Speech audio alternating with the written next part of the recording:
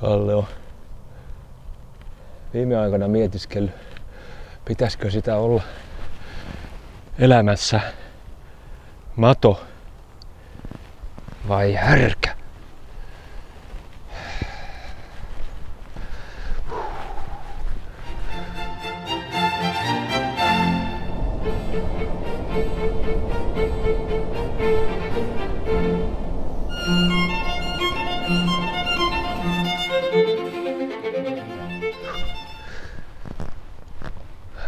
Onhan se tieten niin, että jos on matona, niin kukaan ei välttämättä huomaa. Ja säästyy monelta harmilta. Ja toisaalta, jos on aggressiivisempana härkänä, niin voi tulla itselleen kaikenlaista ylimääräistä tappelua.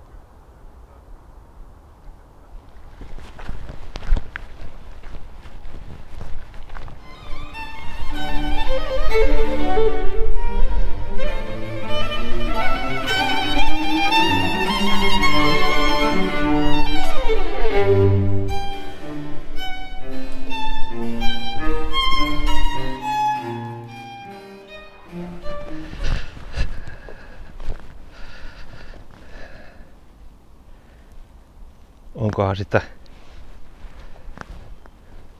puillakin jonkinlainen luonne.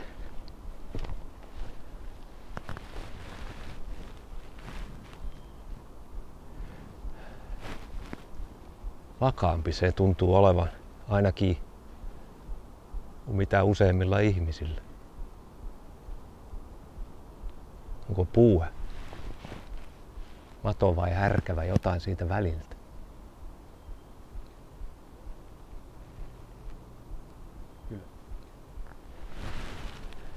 Kyllähän se siinä aikansa jöpöttää ja kaatuu pois sitten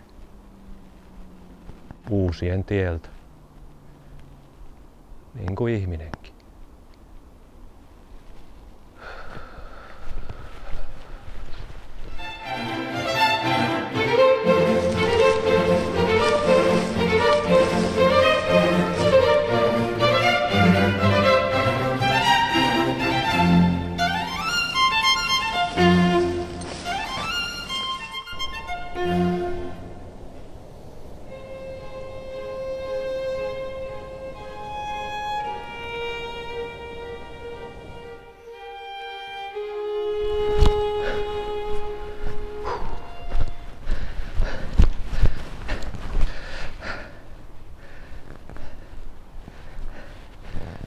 Isot kivet. Ne on kyllä aika järkähtämättömiä. Jääräpäitä tosiaan, mutta ei ne toisaalta riitele kenenkään kanssa. Mitä ne, ne on joskus on tiellä, kun pitää jotain rakentaa. Kyllä ne dynamiitilla sitten periksi antaa. Niin.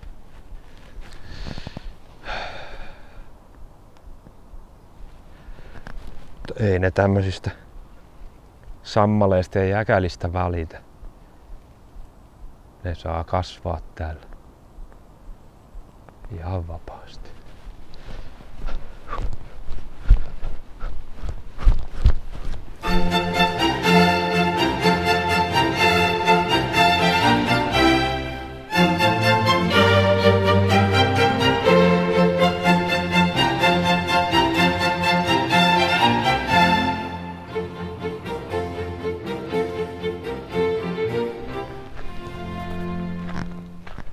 Kyllä se varmaan niinkin on, että jos rupeaa madoksi tai häräksi kovin jäykästi, niin tekee itselleen elämäänsä portteja. Tämmöisiä lukittuja portteja. Tämmöisiä lukittuja portteja, josta ei pääse läpi ennen kuin osaa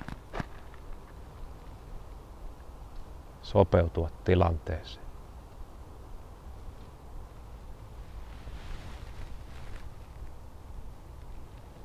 Tämän portin takana on junarata.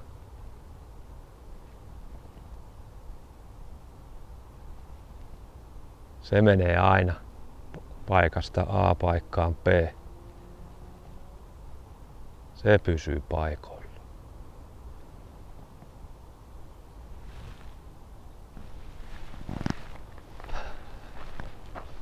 Ei kai se on nyt käännyttävä takaisin, kun tuossa on portti.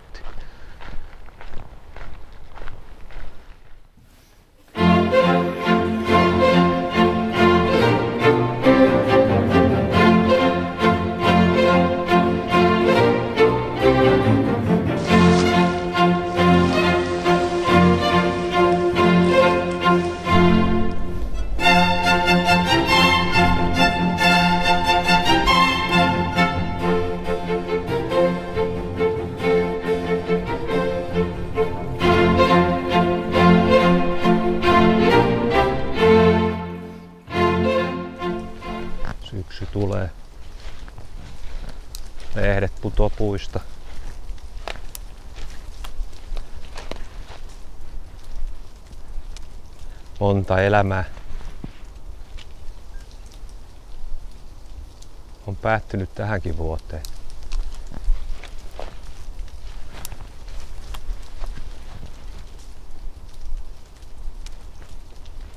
Ja osa puista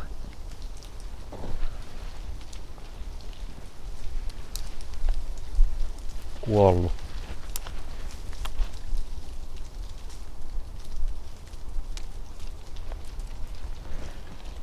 Syksy tulee, mutta elämä jatkuu.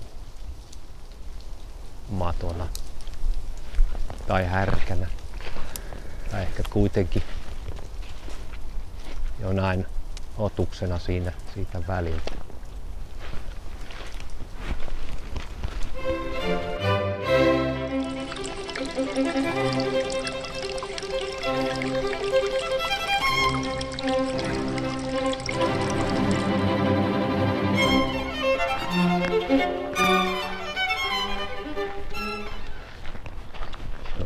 aika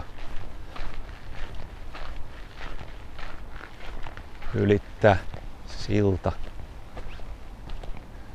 seuraavaan vaiheeseen. Ja jättää jutut taakse.